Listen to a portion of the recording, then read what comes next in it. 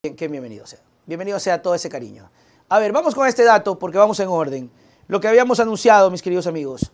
Van por la cabeza de Paola Pavón. Atención, atención, y quiero decirlo con toda la, fuerza que debería decirse porque me parece una, una situación bárbara, me parece un desatino, me parece una barbaridad. Y lamentablemente van por la cabeza de Paola Pavón otra vez. Otra vez. La señora fue indultada, perdón, le dieron la amnistía. Todo el proceso que se hizo contra la señora fue irregular. A la señora la metieron presa como 70 días porque a un iluminado, a un cojudo, se le ocurrió escribir en Twitter una falsedad, una mentira. Mientras que la otra reconocía que puso las volquetas y no le pasó nada. Si me preguntan, yo no quiero que le pase nada a nadie. Me parece horroroso el tema de, así como me hicieron que te hagan a ti. Pero se está fraguando y se viene, y ojalá que me equivoque, ojalá que no caigan, sería el acabose, sería la estupidez más grande que Guillermo Lazo haga. Saludos a Rolando Duchimasa, eres el mejor, aparte de mantenernos informados día, tarde y noche, me haces reír. Bendiciones, Nelson, hasta la victoria siempre, compañerito. Compañerito, vea lo que le quieren hacer mi compañerito. Fuerza, compañerita, fuerza. Que imagínense si nos quedamos sin la, prefectura. No, pues, compañerito. La prefectura tiene que estar ahí. La del Guaya se viene. Y la de Manaví tiene que permanecer, pues, compañerito. Entonces, ¿por qué digo esto?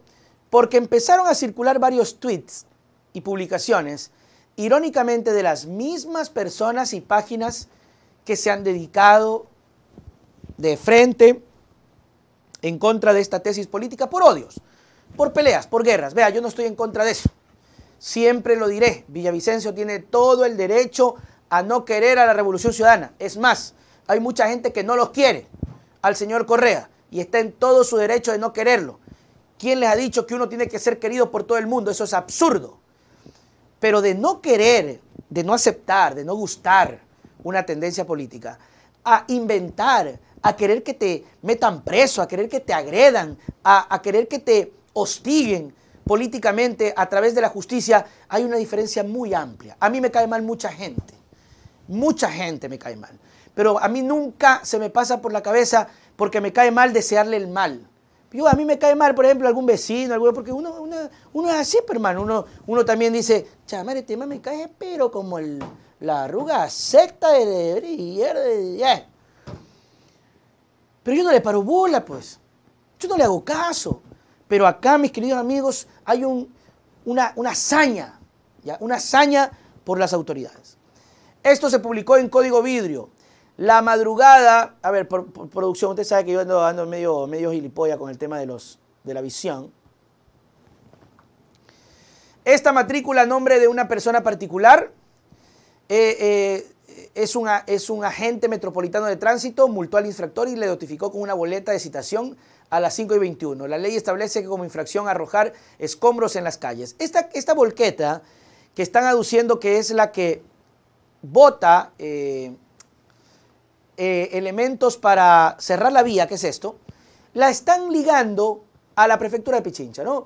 Una volqueta Volkswagen modelo 2022, placas ta ta ta ta ta, fue grabada y según la publicación de Código Vidrio de donde trabaja Villavicencio, tendría estas, estas de la prefectura de Pichincha. No saben que las placas institucionales son de color verde, hasta donde sé. No sé si de pronto cambie por ciudad, pero acá en Milagro son de color verde. Las de color amarillo son placas de alquiler particulares y no se diga color blancas, que son particulares, pero recontra que particulares. La placa es de color creo que blanco. La cosa es que ya están emitiendo estos criterios y no solo eso, miren este otro mensaje que empieza a circular del señor Payares. Deberían tomar las placas o identificar estos vehículos, hablando de los camiones pesados que empezaron a, formar parte de la manifestación, para que les quiten la matrícula. Pero, pero ¿en qué cabeza? Pedir que a los manifestantes que están con sus vehículos les tomen las placas y los multen. O les quiten la matrícula, por favor. ¿Hasta cuándo el odio que solamente termina de carcomerlos a ustedes? Vaya, sáquele la cédula a todo el mundo, pues. Vaya, pídale la cédula a los manifestantes y quítele la cédula. Oiga, una de las cosas más absurdas que yo he podido escuchar, el tema de la volqueta y el tema de las matrículas, buscando encaminar la situación al lado incorrecto. Oiga, por favor, a los señores que están en, en, contraoposición, que está muy bien, que a usted no les afecta, ya estoy empezando a creer que definitivamente no les afecta la subida de los insumos, la subida del costo de la vida, eh, que nunca sacan cédula, que por favor, voy a empezar a creer que solamente hacen todo con tramitadores, ¿verdad? Porque no tienen este tipo de problemas y si pueden pagar. Entonces me parece inaudito que empiecen ya con estas prácticas. ojalá que no pase a mayores. Porque al gobierno, le, a, Moreno, le, Moreno bastó un tuit. Aquí hay una foto. La vez pasada fue un mensaje, un mensaje. Y la cogieron presa a Paola Virgilio y a Hernández dos meses. Dos meses por un mensaje en redes sociales irresponsable. Y hoy están tratando de vincular esto y están detrás ya de la cabeza de Paola Pavón. ¿Por qué? Porque claro, vienen elecciones. ¿Por qué? Porque claro, no tienen la capacidad de ganar a un contrincante en elecciones y quieren eliminarlos antes de para no tener competencia. Ojo al piojo. Juan González.